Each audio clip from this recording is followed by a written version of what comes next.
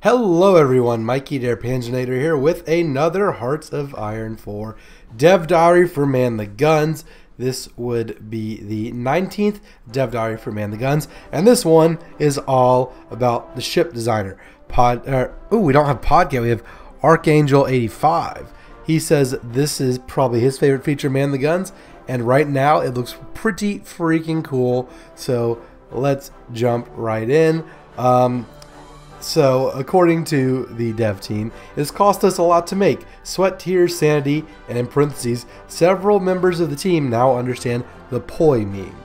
As someone who has uh, frequented World of Warships since the closed beta days, I am very familiar with the poi meme. I still do not understand it, and I do not want to. So let's continue moving on. Um, quote: The start of the the stated goal of Man the Guns is to make the naval gameplay more involved and adding more depth to it by adding more roles that need to be covered and giving the player new tools to fill these role, roles. We also wanted to make sure we had a system that could represent a wide variety of ship types with a minimum clutter. Finally, we wanted the system to be as moddable as possible.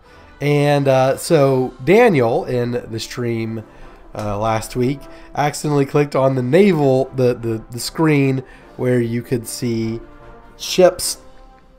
So, um, you know, where you research your Bismarck class, your whatever class, it then said hull and looked slightly different.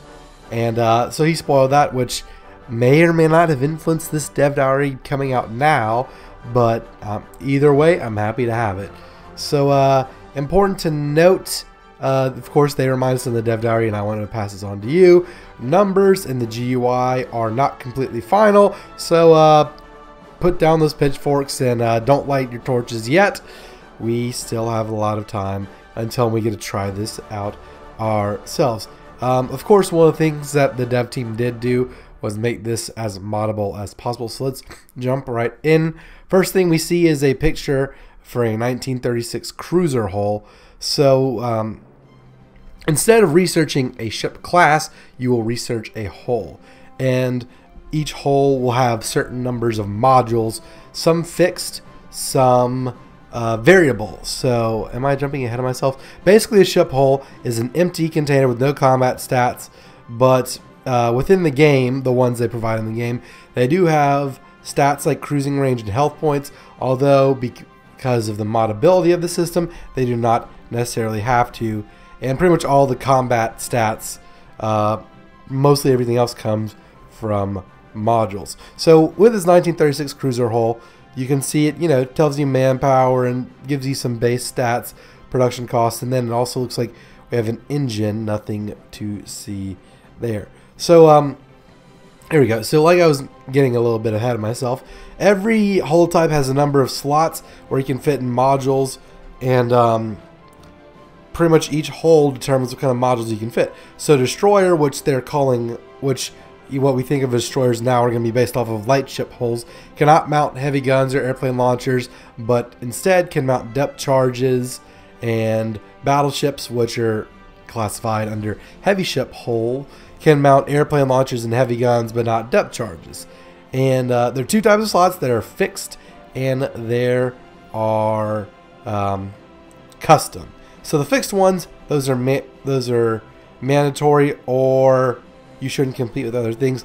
So, for example, all ships except submarines have an AA slot, so you don't have to put AA on a ship, but if you do, you can only put that in that particular slot. Um, so, just looking at the screenshot of this 1936 destroyer hull, looks like there's an engine slot, which is probably mandatory. I mean, you don't want just barges out there. Interesting strategy. Maybe you could, you know, you're basically building some more naval forts at that point. But engines, uh, torpedoes, looks like some kind of detection system, radar types, uh, gunfire control systems, I'm assuming is what the crosshair means, AA, and main battery. And then the second type are custom slots. Uh, those are what is going to give your ship the flexibility more so than just whether or not to include AA or detection or whatnot. Um, and so the custom ones where you decide whether you want your destroyer to have more AA or more depth charges or whatnot. And uh, so higher levels of ship hulls will generally have more custom slots available. So you're not going to be building super carriers with your 1936 carrier hulls, Although maybe you might be able to. Um, I could definitely see some of the research bonuses for like Japan got one for super heavy battleships. I could see that, you know, being for heavy hulls, allowing you to have more slots and being able to build a Yamato faster than other countries. But uh, moving on, so an example, uh, let, let, let, let's read what they say here. Say you play the British and have somehow ended up in a war against Germany. Submarines are raiding your convoys, and you are desperate for new escorts. Using the old system, you built a bunch of destroyers at a fixed cost, maybe spent some naval XP to upgrade their ASW capabilities, and that was that. Under the new system, you take an early, read as cheap, light hull and strip out everything you don't need. That ship is going to operate in the middle of the Atlantic, far away from enemy air, and the opponent has no carriers, so it needs little, if any, AA. The enemy surface fleet hasn't shown itself in years, so you can skimp out on the gun battery and torpedo armament to cut down cost. You also go with the most basic set of engines to keep the ship as cheap as possible. It doesn't have to be fast to catch a submarine. Instead, you load the ship down with, depth with depth charges and the so sonar modules to track down enemy submarines. The goal is to make a cheap convoy escort that can be mass produced. So we see the convoy escort here and it has the depth charge mounted in those custom slots, uh, and a, one by the main battery slot. Uh, nothing in AA, nothing in gunfire control. Uh, looks like a sonar module, no torpedoes in the engine, and uh, the cost looks like what 810, which is I don't know what that is in terms of the game right now, but it's also very uh, probably a lot cheaper than like your fleet destroyers. And uh, also you can notice you see it looks a lot like the Division Designer mixed with the Stellaris, uh, with the Stellaris uh, ship designer from you know Stellaris. How many times? How, how bungled can I say that? Uh, it looks like things will cost or will cost naval experience to make, which we'll see how that is balanced out. So moving on. Um, Continuing the example. However, Japan has been making aggressive noises recently and you expect to fight in the Pacific against enemy carrier battle groups. So you start with a more modern destroyer hull and add as much AA as it can carry to send it out to help Australia. So this one, you can tell, has a lot more modules. It does have torpedoes, does have gunfire, and uh, radar as opposed to sonar. I don't know if those are going to be mutually exclusive or kind of both tie in or what have you. But so you have a good radar module, a gunfire control, AA, better main battery, and then you fill two of the custom slots with AA. Um, carrying on. Unfortunately, you miscalculated, and the Japanese are running swarms of cheap disposable destroyers with lots of torpedoes and not much else, using their carriers in a defensive role to provide air cover. So you design a light cruiser with plenty of guns to annihilate that the destroyer before they can do too much damage. It won't be cheap, but it'll give you the edge once it is in service. Somewhere along the line, you'll also want to build up a carrier battle group with two of your own, and that means you'll have to also look at cruiser and battleships or escorts as well as the carriers themselves. Thankfully, you have a number of older battleships and cruisers lying around that could be given a second lease on life by refitting them. Details to come in future dev diaries. That is one I'm looking forward to almost more than the I don't know. I kind of am looking forward to refitting more than I am the new ships themselves. Although it kind of all times into the same thing. I wouldn't be surprised if refitting is very similar to the current or this uh, design system. So pretty much, uh, they thought about making ship hulls have tonnage and module cost some tonnage, and at the end, basically decided that was going to make it too complicated, and uh, pretty much everything will just come down to production cost and combat stats.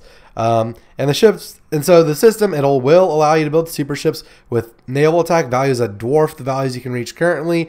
Uh, they will not be cheap and will have some shortcomings. So you can build your super battleships, Yamato. No word yet on whether you can build space battleship Yamato.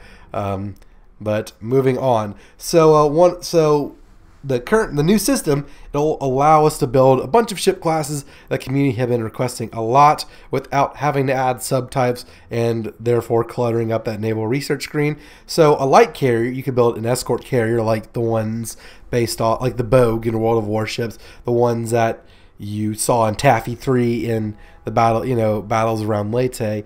Uh, you can build a light carrier by just having a carrier with fewer hangar, hangar modules, and therefore it'll be considerably cheaper. So here we see HMS Hermes, which only has capacity for 20 aircraft. But uh, do we? Where's the where's the cost? I don't see the cost on this screen anywhere. Uh, you know, I was only gonna.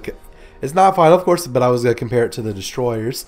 Um, and so, yeah, you can build escort carriers.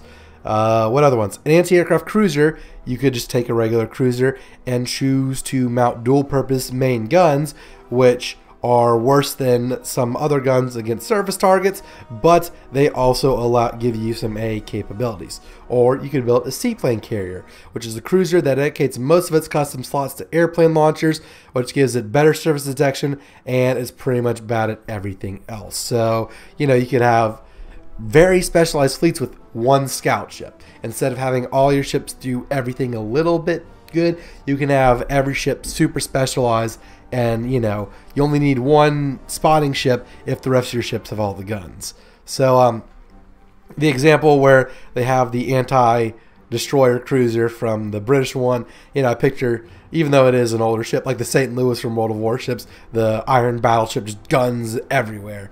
Uh, so there we go. Uh, and moving on, some ship types uh, that special. So for some nations and some ship types, will have special hull types that will have special abilities. So you have the Panzerschiff, which is available to the Germans, of course, and it's a cruiser that you can mount a single battleship grade heavy battery module. So you can have your Deutschland class, your you know your Graf Spee, and all of those. Uh, more battle cruisery, you know, your pocket battleships. Another one they're adding are Sweden and other Nordic countries get a special special coastal defense ship hull, which is slower than a regular cruiser, but can also mount battleship guns. Uh, and then another one they have added are German pre-dreadnoughts, but that is mostly a case of missing capabilities. Um, most of these are set at game start, but some are available at special awards for completing certain focus, focuses. Focuses. I can't talk right now. I'm sorry. I'm feeling, you know, sinusy and all that. So if I sound weird or if I, you know, just chalk up any miscues on this video to that one. So, uh, special Ferk, special Fergus. now I'm saying it unintentionally. Oh my God. Well, it was unintentional, but I can not help myself. Okay. U-boat effort. It looks like it uh, gives you a beast. Uh, I can't talk a research bonus for submarine models and adds a technology for a cruiser submarine hull. So I guess that means you have a much better submarine or a bigger submarine that can do much more. I'd be interested to see if you can build the Japanese carrier submarines that can launch a handful of airplanes. Um, and so modules are, of course, uh, unlocked by researching technologies. A lot of them are in the new and revised naval tech tree, which isn't ready to be shown off yet. Hashtag blame Daniel. Uh, some are spread around other tech trees. So radar in the you know for your land-based radar also affect radar modules on your ships. Researching anti-air in the artillery tab, you know where you find your artillery and your anti-tank and rocket artillery. That those unlock. Researching down that tree unlocks better AA guns for ships. Fire control computers are a side branch of mechanical or of the mechanical computing, so where you get your research bonuses and encryption and decryption. We've seen those in the streams; those have been blank, but we have seen the slots for those.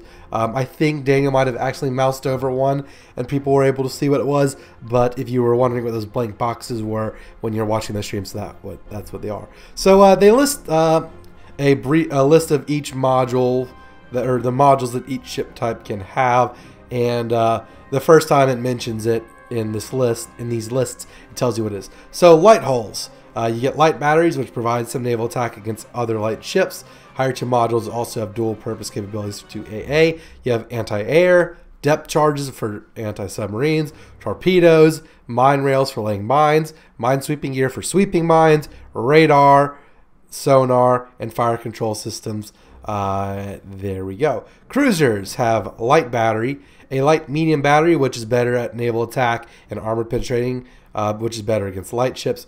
Uh, medium battery, which is better, you know, more naval attack and armor piercing against heavy ships, but is less effective against light ships. AA, depth charges, torpedoes, mine rails. Secondary batteries, which gives you some attack against light ships, uh, particularly useful for heavy cruisers and battleships. Later modules Models have dual purpose capability to also add AA value. I love this. I can't wait to make my like Bismarck types or you know if you ever played World of Warships, which uh, is an, uh, another game I spend a lot of time on on this channel, you'll know I love the secondary builds of any ship that has one, which is mainly the German ships. I'm going to make so many secondary builds in Hearts of Iron 4. I don't care if it works well, it, just for the flavor reasons I want to do it. Um, also, airplane launchers, which adds surface and submarine detections. So this is launching your, you know, your scout planes. Armor, which you know makes damage coming at you less effective. Radar, sonar, fire control systems. Heavy hull, heavy hulls have heavy batteries, which gives you a tremendous amount of naval attack and armor piercing at the cost of speed, and it's pretty much useless against light ships. But you know what? If you hit them, I bet it'll do a lot of damage. Uh, secondary AA armor, airplane radar, fire control. So you can see the cruisers are a lot more versatile than cruisers are, of course, as they are traditionally, the halfway point between destroyers and battleships. And then we go into carriers, which carriers have deck space.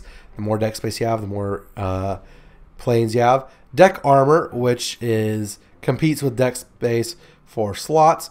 Um, so it adds you armor and HP at the cost of speed. Then there's AA, and then there's secondaries. So the Graf Zeppelin, which is a ship Wargaming is meaning to add to World of Warships soon, is basically uh, the the German principle behind the Graf Zeppelin was going to be they were going to use the airplane. It was going to be a commerce raider. They're going to use the airplanes to disable the escort ships, and then they they were going to sail that ship up and use its immense secondary batteries to dispatch of all the convoy ships. So you could build a Graf Zeppelin in uh, Hearts of Iron 4 now.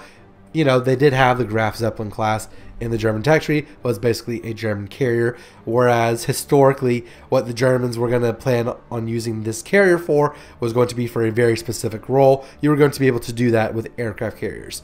So even other examples like uh, the early American carriers. I think the Lexington had eight inch turrets, the same kind that you see on the Pensacola class, and they eventually took those off and switched it for A. But basically, you had heavy cruiser guns on a battleship. I'm looking forward to secondary uh, on a carrier. I mean, uh, you. I'm looking forward to secondary batteries on carriers. Uh, if you were not able to tell, submarines, torpedoes, mines, radar, and snorkel which is spelled very German of it. Uh, it reduces visibility. And so, uh, as you can see, light hulls can carry a lot of weight to provide defense against submarines, but can also be really good torpedo boats or A units. And uh, cruisers, as you can tell by the amount of slots they can have, are meant to be very flexible and fulfill a wide variety of roles, pretty much anywhere from super heavy destroyers to uh, poor man capital ships to mine layers, torpedoes, whatever, blah, blah, blah. Battleships and battle cruisers are pretty much only separated by different armor schemes and not much else. Uh, but heavy armor being labor and resource intensive, uh, you can cut corners. So, uh, carriers. Carriers are now more flexible in terms of size, ranging from carriers with a couple planes to you got super carriers with hundreds, with over 100 planes. And uh, pretty much this is you know going to make it easier to get into the carrier game uh, for even smaller nations. So you know like what the current state of the world is uh, with uh, the United States and all of our Nimitz class carriers, we have more aircraft carriers than the rest of the world combined, and they're all humongous. Whereas most other countries just you know have a much smaller carriage to have one. Uh, and be able to accomplish it. So you'll be able to do that in Hearts of Iron say if you're Greece going for a Byzantium run and you want somewhat of a Mare Nostrum contender, you can build some escort carriers since your naval industry isn't going to nearly uh, stand a chance against the Italians or the British. Uh, submarines are pretty much the same, but with upgrades, they can uh, you can make mine laying submarines that can lay as many mines as dedicated mine laying cruisers, but it'll cost a lot less and lower risk of detection. No word on the Japanese carrier subs. I'm thinking that's something they're going to add, and I'm hoping that's something they're going to add. If you're from Hearts of Iron, if you're from Paradox, and you're watching this video, one, I love you. Two, add the Japanese carrier submarines. Uh, and so this, of course, this whole designer window is going to be part of the DLC. If you do not buy Man the Guns, if you just go with the free Ironclad update, uh, the old you'll have the old naval tech tree and it'll unlock pre-scripted designs and you'll get the traditional uh, up variant upgrade screen that we are familiar with. And so uh, here we see a picture of a battleship. This looks like a super heavy type. Uh, looks like there are four main battery guns. I'm thinking that little cannon with the two is a secondary, some AA, and looks pretty good. And then there's a question mark in the unlock slot. I don't know what that question mark is going to be. I'm only noticing that now as I'm telling you this. Also, it looks, I don't know if it's a brand new design or what's being changed, but 50 XP, the numbers aren't final, so it doesn't matter. But you can also see there are the adjusters that tells you what type of naval terrain the ship will do well and poorly in. And uh, so, one final thing that they mentioned, uh, assuming this designer works as well as it hope it does, they're considering expanding it to cover tanks and airplanes. Uh, they, you know, had this in mind while developing the back end of this system, but they're concerned with, you know, overloading the players with too many choices because, uh, you know, you might design new tank destroyers like all the time, but whenever, you know, you design your Navy, that seems like something that's going to be very reactionary and very rare in terms of decision making since the quantities of ships you make versus the quantity of like tanks and planes you make are very different. A if you have 200 ships in hearts of iron you have a almost unbeatable navy. If you have you need tens of thousands of airplanes a lot of times. So uh, ships since they take longer to build they expect us to you know uh, have to design them less often which is why they're doing that so uh, that's all for this week. Next week, they will talk uh, about what we can do with older ships, so refits, and what you probably won't be able to build, and why you probably won't be able to build min-max battleships on the first day of the game. I think that's going to talk about what modules, go into more of the modules you can research, uh, as well as maybe something to do with naval doctrine. Like you have to unlock a couple of levels of naval doctrine to realize, hey, battleships suck. We should stick with carriers, and you know, pretty much make battleships anti-air platforms. So, uh, let's uh, let's see. Let's go over the rejected titles really quick, and then I'll close out. Rejected titles: playing with Lego ships. Who designs the designer? Basically made just to allow Sweden to have historically accurate fleet. See, I forgot to make a comment about that. Of course, the Nordic countries get a special ship type, and of course, it's highlighted in the dev diary. We don't know who else would have it, but there we go. This is a Panzerschliff. It schliffs panzers. Does it really? I don't know. Aviation battleships are bad, and you should and you should feel bad. This radar nonsense will never work. Bet. What's wrong with my bloody ships today? The spirits of Emperor Wilhelm II and Sir John Fisher were consulted for this feature. We ship Iowa Musashi. Rip the torpedo battleship mana 12 6 2018 to 7 11 2018. And the best ship design is Friendship. And count of people who ask about doing this for tanks and airplanes without reading the dev diary so far one. And that number has not changed since a few earlier in the day. Um, part of that may be because, you know, nighttime for Europe is like daytime, late afternoon for us in the States, so they haven't updated it, but those are the rejected titles. So, I want to talk a lot about this. Uh, I'm not going to hold you for too long, but this is amazing. I love this. This is fantastic. I'm going to love just designing ships as they are. Um, you know, building specialized fleets. One question I did have, and I think, I don't know, maybe this is going to be a non issue, is uh, how are they going to deal with the current overcrowding for carrier things? So, if you know, is it going to be four carriers in a fleet or task force? Because currently, in the current state of the game, the way things go, you only want four carriers per fleet, which leads to uh, otherwise there'll be overcrowding. But if it's by task force, ah, there's my squeaky chair. You gotta love my squeaky chair go sign up for Patreon so I can get a non squeaky chair. That's the only reason you should give me money if you don't like the chair squeaking in the video. Nothing to do with your support for this content. But if, you know, considering if they're task forces, you could have you could have Taffy 3 with a couple of light super light uh, carriers, you know, only four of them if they keep that system, and then a bunch of destroyer escorts and uh, anti submarine ships which would probably suffer greatly against the main battle fleet. Uh, the special ship designs, I think, are going to add a lot of national flavor. Uh, for you know Germany, they're adding the Panzerschliff. For Sweden, they're adding something no one cares about except the Paradox devs. I love you all. Your country's great. It makes great games.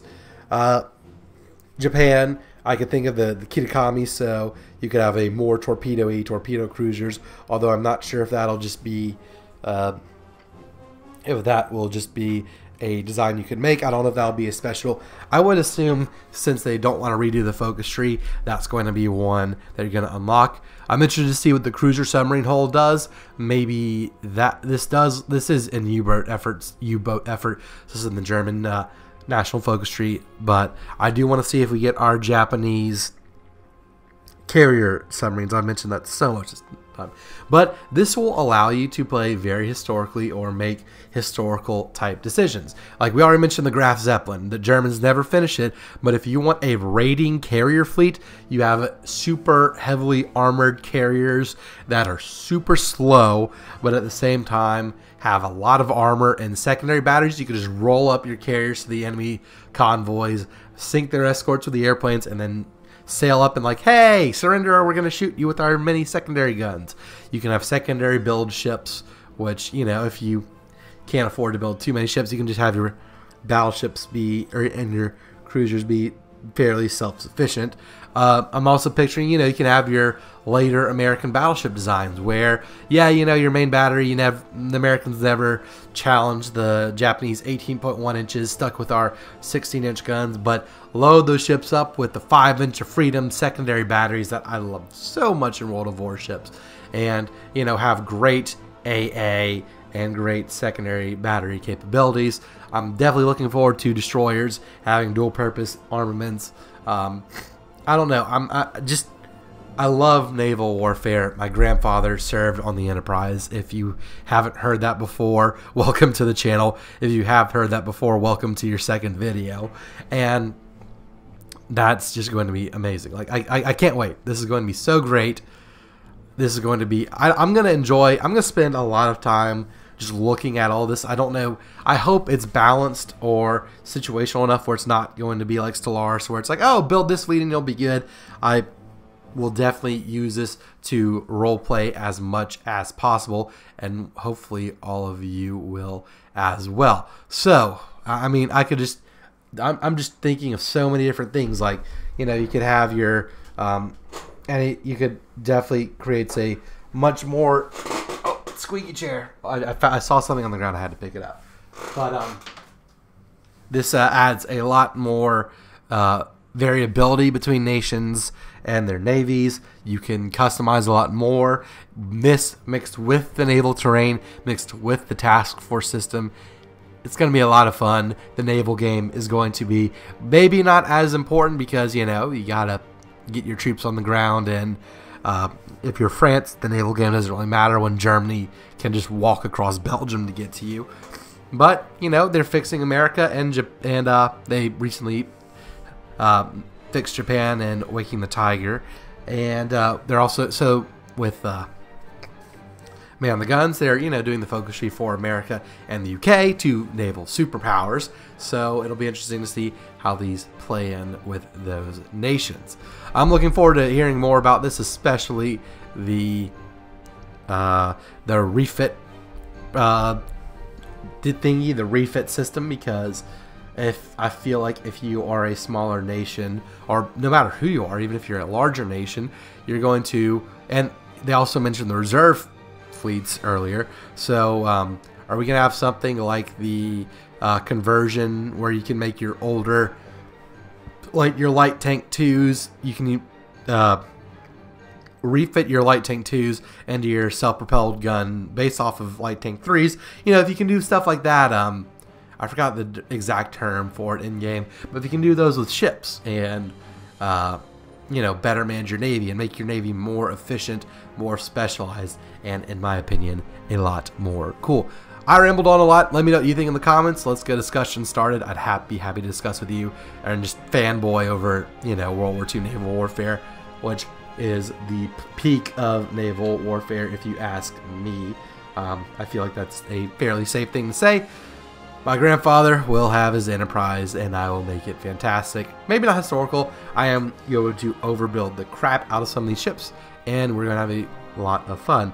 I hope you enjoyed this overview. Uh, if you want to read it for yourself, that link is down in the description. I am actually getting that link right now so I don't forget.